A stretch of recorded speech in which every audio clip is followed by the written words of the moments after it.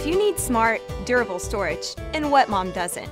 The lift and hide bookcase storage chest from Step 2 is a no-brainer. Not only is it practical and convenient, it looks good too.